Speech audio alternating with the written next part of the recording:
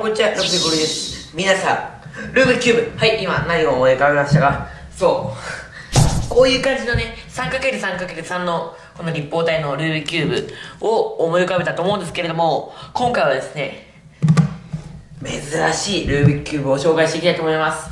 で、えっと、クリスマスプレゼント開封動画で、まあ一応、か、仮にね、開けて触ってみたんですけど、まあ、今回もっと詳しく紹介していきます。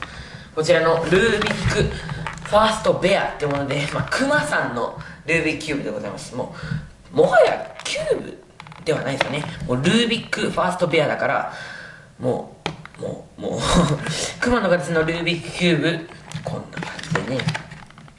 ルービックキューブより簡単で飾って可愛いクマの形のパズルです。あなたはクマを元に戻せますか？ということで、開けていきましょう。パカッで、この中に、まあ、組み立て用みたいなの書いてあったり、なんか、あと、なんかおお手紙みたいなの書いてあるのかな。で、こんな感じで、1、2、3、4、5、6確かに6面って、まあ6色ありますね。ルービックキューブと同じです。赤。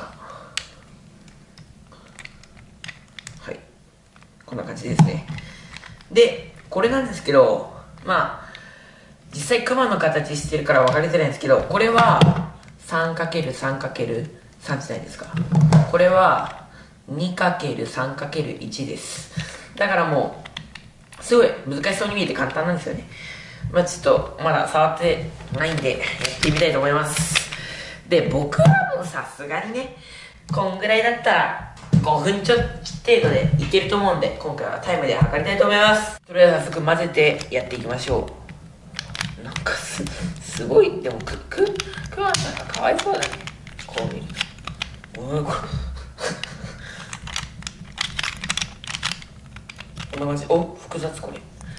すごい複雑になってきた。こんな感じです。こんな感じでやってみますか。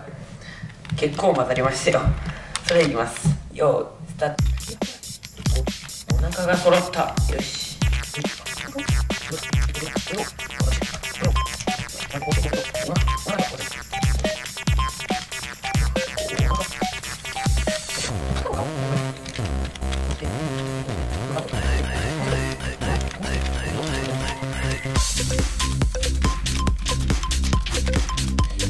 いな、意外と。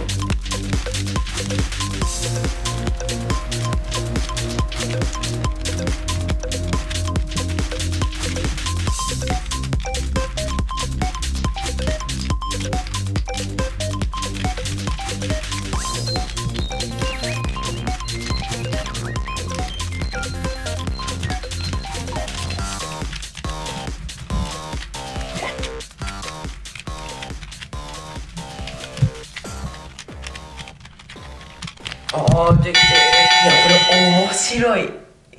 すげえおもろいよ。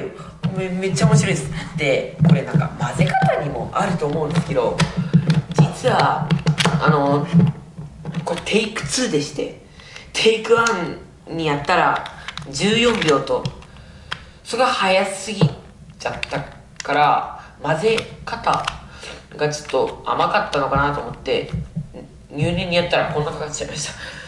ですよなんかねザ・パズルゲームって感じがします。本当にルービックキューブを触ってるって感じじゃなくてもう自分でここを揃えようって思ってやるようなパズルだね本当に。すごい。はい。